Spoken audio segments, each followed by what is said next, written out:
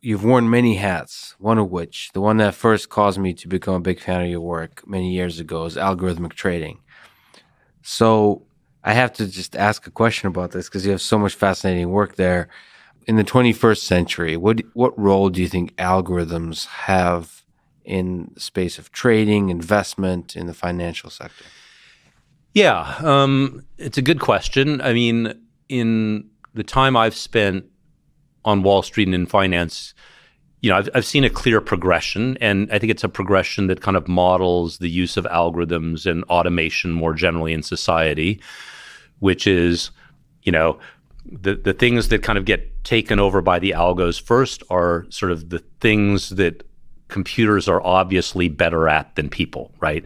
So. Um, you know, so first of all, there needed to be this era of automation, right, where just you know financial exchanges became largely electronic, which then enabled the possibility of you know trading becoming more algorithmic because once you know the, exchanges are electronic, an algorithm can submit an order through an API just as well as a human can do at a monitor. really quickly, it can read all the data. So yeah, can... and so you know, I think the the the places where algorithmic trading have had the greatest inroads and had the first inroads were in in kind of execution problems, kind of optimized execution problems. So what I mean by that is at a large brokerage firm, for example, one of the lines of business might be on behalf of large institutional clients taking, you know, what we might consider difficult trades. So it's not like a mom and pop investor saying I want to buy 100 shares of Microsoft.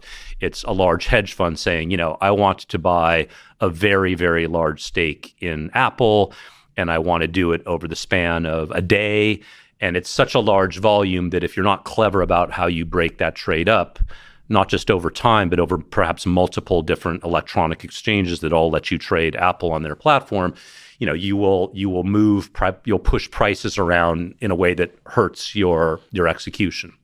So you know, this is the kind of you know, this is an optimization problem. This is a control problem, right? And so machines are better. We we know how to design algorithms you know that are better at that kind of thing than a person is going to be able to do because we can take volumes of historical and real-time data to kind of optimize the schedule with which we trade. And you know similarly high frequency trading um, you know which is closely related but not the same as optimized execution where you're just trying to spot very very temporary you know mispricings between exchanges or within an asset itself or just predict directional movement of a stock because of the kind of very very low level granular buying and selling data in the in the exchange. Machines are good at this kind of stuff. Mm-hmm. it's kind of like the mechanics of trading.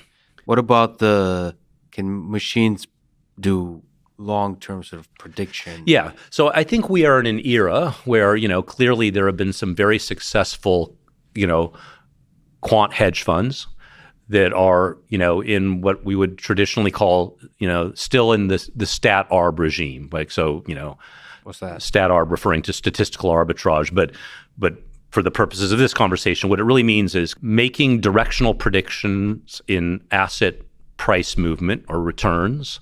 Your prediction about that directional movement is good for, you know, you, you have a view that it's valid for some period of time between a few seconds and a few days. And that's the amount of time that you're going to kind of get into the position, hold it, and then hopefully be right about the directional movement and, you know, buy low and sell high, as the cliche goes. So th- that is a, you know, kind of a sweet spot, I think, for quant trading and investing right now and has been for some time.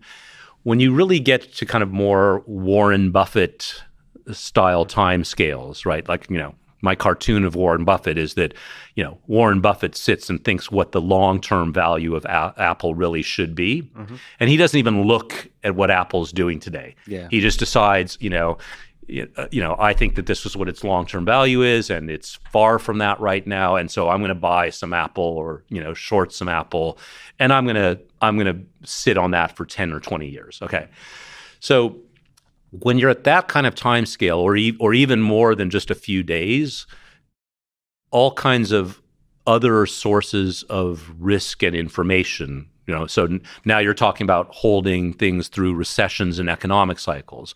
Wars can break out.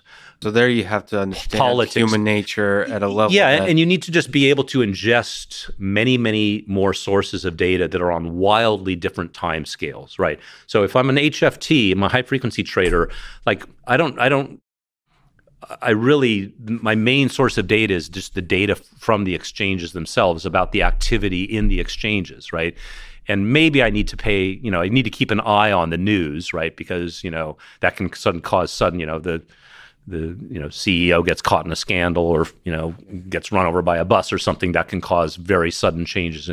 But, but you know I don't need to understand economic cycles. I don't need to understand recessions. I don't need to worry about the political situation or war breaking out in this part of the world because you know all I need to know is as long as that's not going to happen in the next 500 milliseconds, then you know my model's good when you get to these longer time scales, you really have to worry about that kind of stuff. And people in the machine learning community are starting to think about this. We we held a we, we jointly sponsored a workshop at Penn with the um, Federal Reserve Bank of Philadelphia a little more than a year ago on, you know, I think the title was something like Machine Learning for Macroeconomic Prediction.